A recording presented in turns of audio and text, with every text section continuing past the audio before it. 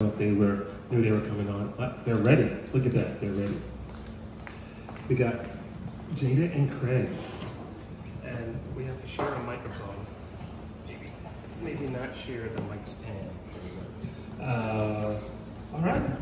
We have a cozy. You guys can come down because it's, it's TV. Well, it's not TV, but it's, Big couch. so- Yeah. Cool. There you go. Um, Jada. Did I say it right? Yes. Okay. And Craig, Yes. guitar and vocals. Do you play any, Jada, do you play any instruments as well? No, just No? just attempting ukulele actually and loving it. Oh, ukulele's great. Yeah. We bought one last Monday. It's great. That's absolutely great. Yeah, cool. Um, so this is your place. You've had it for a while. Um, let me see if I can ask any questions first. No, tell me about this place. What? What? Well, um, I I got here about 20 years ago, and um, we used to paint and do airbrushing and design work, and I was in the motor race world. That's why the bike's here. Uh, that's my background, and I still dabble in it. Okay. Um, I painted all these helmets, and um, that's for the motor race guys, you know, V8 Supercar guys, superbike riders, things like that. And um, and then I became a tattoo artist. I got a little bit inspired by doing tattoos. And we had all this area here, and we decided to uh, create a coffee shop because the tattoo shops are upstairs.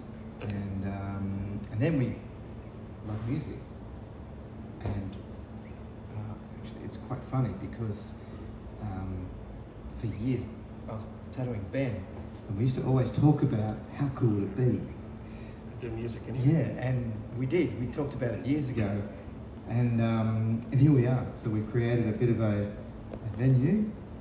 It's only small, but it's cozy and it's fun. And um, I kind of stand around and watch things happen while Jada makes it happen. Um, so it's kind of nice to go. Hey, I've got an idea.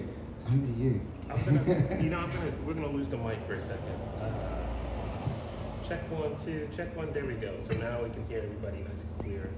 Um, okay, cool. There we go. And this is Alfie, Alfie. A little rescue dog. Yeah. Awesome. All right. So, so yeah. Uh, what?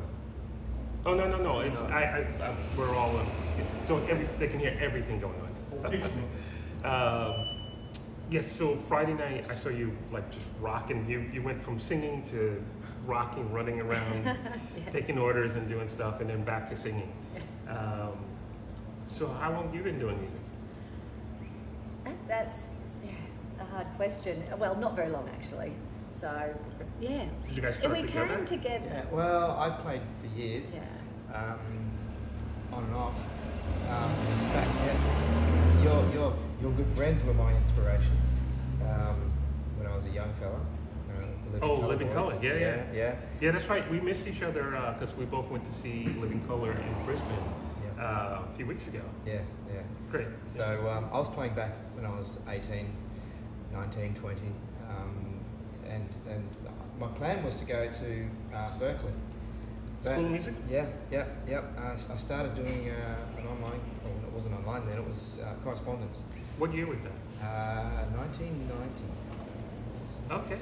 But I did some. I did some guitar clinics and workshops there. Uh, I think it was 93, 94, Yep. maybe 95 as well. Wow. I never quite made it. I, I got into these things, Okay. and um, it kind of took my attention. So um, I was a little bit of a, you know, oh squirrel, you know. So, um, but no, I play. We play. Our band got together during COVID, so we, the majority of them, we hadn't met before, and we came together and just started jamming at each other's houses. Okay. And, and I didn't think for a second that I would be, that we would be doing what we're doing now. Okay. So, um, so it is really new to me, but oh, we love it. We love it. We love that we've created an environment that every time we have musos here, they feel an energy, they feel encouragement, they feel so accepted, and it's a place that they always want to come back and play at. Okay. I want to show. I want to. I want to see if I can get the the Bowie, the Bowie, but I cannot. So. Uh, here's some of the art on the wall.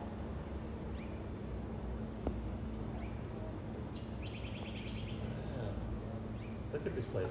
And these are the helmets that you were talking about. Yeah, there are a couple of them. Zoom in. Whoops. Whoops. Uh. Maybe we can get the Bowie this way. The Bowie.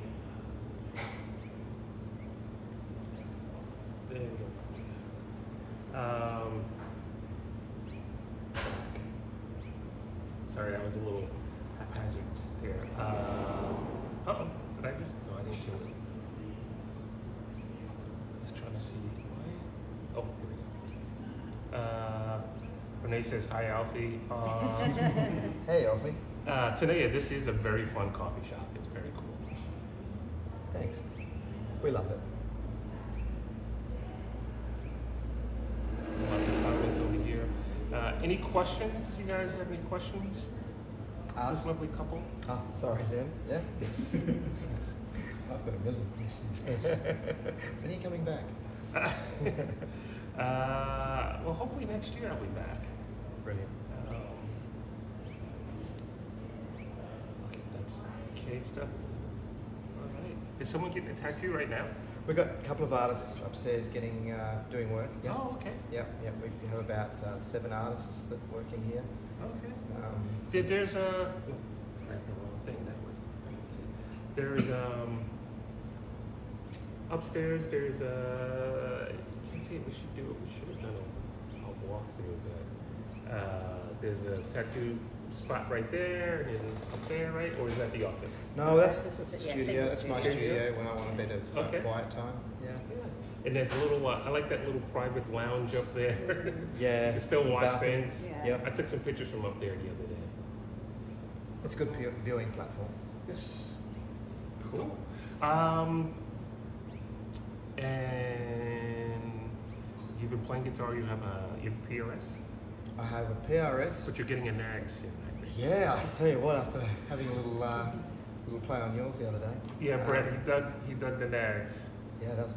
Uh, I started following the page and just looking through it, and uh, yeah, there's some amazing, amazing pieces of work on there.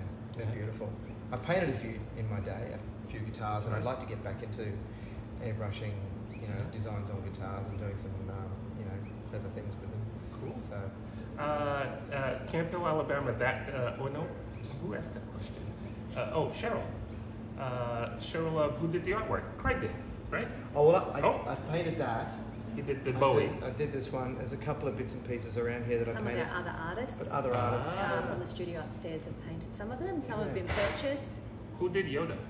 That was actually done by uh, an artist in America, um, Craig Driscoll, he's a tattoo Okay. artist, who actually was uh, probably one of the reasons why I started tattooing. I, Yeah. I found his art and I was so inspired by what he was doing. Not that I do that style myself, but I really loved his style.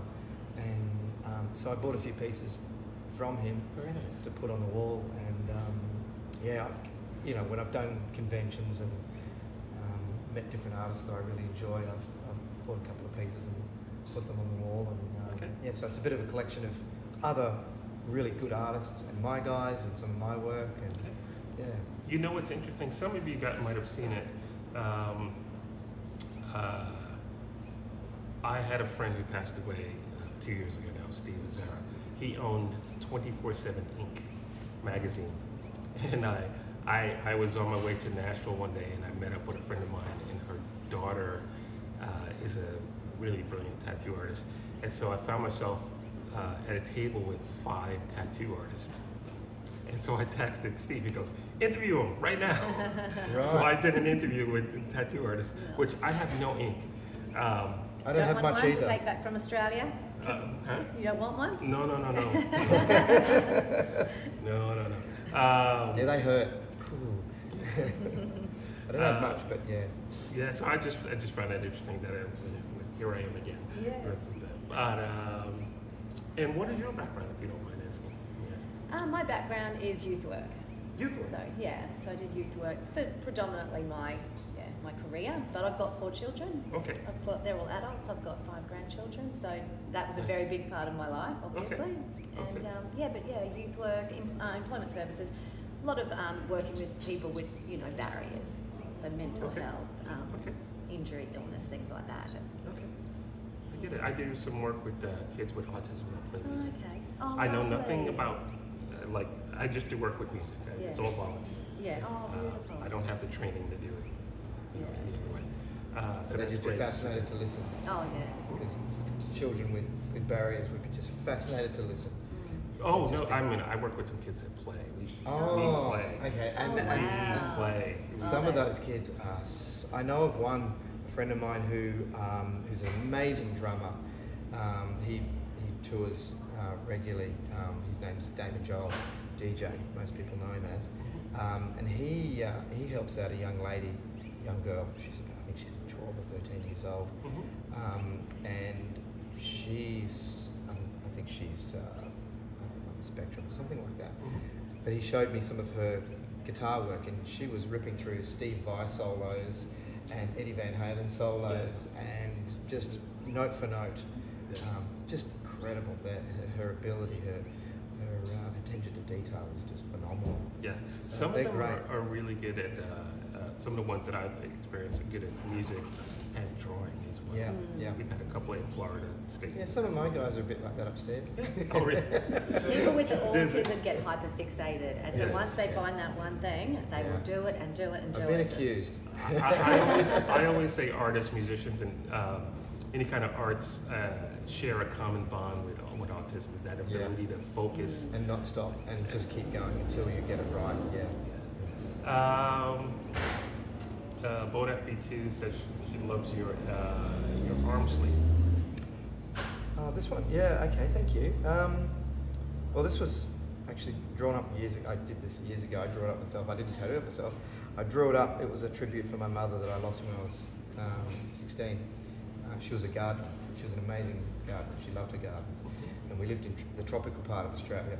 And um, she made some incredible gardens. So I thought, well, and I loved gardening with her. Mhm. Um, so I thought, oh, okay, well, I'll, I'll, I'll put some greenery on me and, you know, carry uh, carry a garden around with me forever. Cool. Yeah.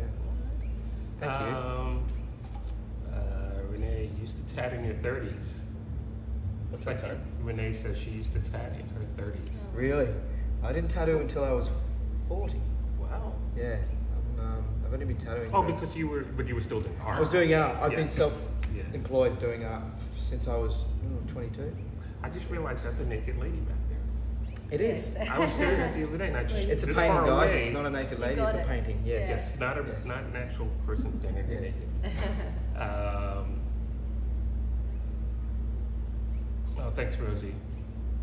Uh, what kind of architect is that building? Very high ceilings. What kind of building? Yeah. Well, this is an industrial estate, Okay. and when I got here 20 years ago, this was just an empty shed. Okay. There was nothing here. Um, Okay. there was a little office behind us here, but that's obviously, you know, you can't tell. Um, so, You'd walk through the drawing rooms, pop up to the stairs, and then upstairs, and this was just a shell. Yeah, this well- actually had a massive trampoline in it at one stage, where Yeah. um, if the female artists got on each other's nerves, they'd be sent down here to jump on the trampoline, Until work they it out until they could come back which up. happened And, uh, instantly. Okay. They just giggle. But no, this whole building, there was none of this here. It was just an empty, just a, um, yeah, just a shell of a building. And we built the mezzanine area first so I could kind of separate the, the art from the spray painting. hmm And then we obviously had an area upstairs. We weren't using it. It's just developed, and there was never a plan. It was just a yeah. It was just a. I, I forgot to, sh- to show you guys the gargoyles. I like gargoyles. Yeah, they're cool, aren't they? Yes. Yeah. Interesting fact, they're actually called grotesques. Grotesque. Somebody Hmm. came in and said they're grotesque, and I'm like, I, I think I referred to them as gargoyles, and they went, no, they're grotesques because the gargoyles are the ones that have, Have water, water coming out of their mouth, yeah. So they'll have the holes and they'll be doing. Oh, wow. So they're gargoyles. Fun, interesting fact. Small. Thing. So they're Yeah. grotesques. Yeah. And they're and they're and they're put there to um, ward away evil spirits. Apparently, uh, I just like them. I thought it was cool. Okay. Uh, a friend of mine made them for me. Um, Nice. he also made these pot plants, the elephant pot plants. He, um, This is, so you do surround yourself with artists. yeah, That's yeah, a beautiful thing. Yeah, I yeah, like I've been very Just lucky. Artists of, any, of all kinds. That's a beautiful thing. yeah. Whether they're musicians, whether they're sculpt artists, whether they're painters, tattoo artists. Yeah. Uh, thank you, Boat FB2. Um, see, Christina Rose, what about the Bowie? He painted, Craig painted the Bowie. Yeah, as you can tell, and I didn't. This was a happy accent this morning. I didn't mean to wear this, but I'm a massive Bowie fan. Um, have been since I was about uh, seven years old. My father played Space Oddity for me once, Uh-huh. and I went, "Wow, who's this?" Uh, and uh, yeah, so I, I I've always had a, an absolute admiration for, for David's work musically, and also his his attitude. He's just I have a good friend that played with Bowie, uh, several stints with Bowie. Who's Sterling, that? Sterling Campbell. Oh my Drums. goodness, you kidding? You know Sterling? Yeah, yeah, Yeah, yeah. Sterling's great. He's uh, he's well. I saw him. I saw him at the Bowie tribute Mhm. um, in Sydney at the Opera House, Uh-huh. and then I saw Oh him. yeah, and Carmine. Yeah, yeah, yeah, yeah. Yeah, actually, I It was know. So, so Carmine Rojas is like, uh, which is so weird that um, uh, it's a little thing. I went to a birthday party here, and it was an amazing birthday party, and so much music and stuff like that. And the woman whose birthday was, uh, she was telling me about she had some friends in New York and blah blah blah, and her her her um, her uh, uncle Carmine. And I'm like Carmine. She goes, yeah, he's a bass player. I said Rojas. so we uh, FaceTime and incredible. called him, sent him a message and stuff like that. But uh, yeah, Carmine Rojas is my, uh, I, I call him my road dad. He got me my first Right. major tour. Wow. And then Alan Childs, I did a tour with Alan. He played on the drums on the glass pipe. Oh, Sterling fantastic. wasn't doing that. Okay. No, no, he was in. I think he was in Duran Duran. Yeah, Sterling was him. Duran Duran. I followed him. Yeah, I know his work. He's, uh, and I and I saw him a couple of weeks after that, playing um, with B52s, Oh yeah. and I was absolutely mesmerised. That that was so good. St- If you want to, if you want to, uh, um, I keep saying I was in New York at the absolute best time in the mid '80s, and uh, so I hung out with what the world considers some of the best drummers in the world that are working now. And Sterling's right in that. Look up Sterling Mm. Campbell. He was also in Soul Asylum, Yep. Yeah. um, B52s, Forever. Um, but there's a whole bunch of drummers from that, that time period, and they uh, they shared gigs. Um, it was a great lesson in how to be a human being in, uh, in the music world too. Um, Got to give a shout out to Zach Alford, who also plays with B52s. When Sterling's not doing it, he also played with Bruce Springsteen, Maggie's Dream. My friend Tony James played in Maggie's Dream. Um, uh, uh, Charlie Drayton, who's here. Uh, Charlie Drayton is Wow, in. Um, okay.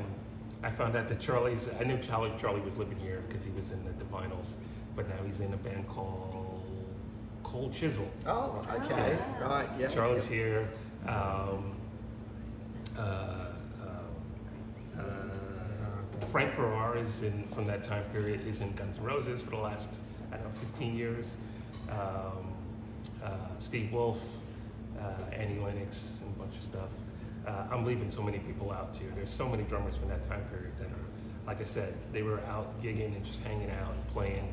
Um, Tal Bergman, uh, uh, Nir Z from Genesis. Well, Nir wasn't in the 80s. He was he came later on. But, um, it was a great time to be a musician in New York and stuff like that.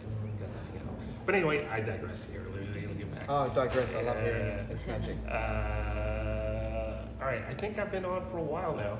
Um, I um, I'm glad you guys watched. Thank you so much. I'm gonna close it out with uh, "Tears of a Woman" and um, do a sunset, even though sunset is nowhere near about to happen here.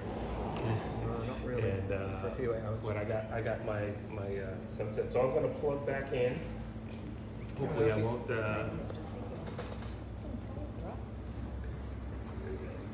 Thank you guys for watching. Um, here's my quote from my friend Zach that I like getting shows with. Um,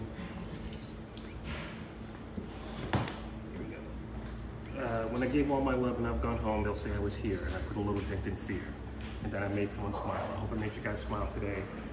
And um, I'll see you on uh, Tuesday Night Live on Wednesday morning here for the Electric Show.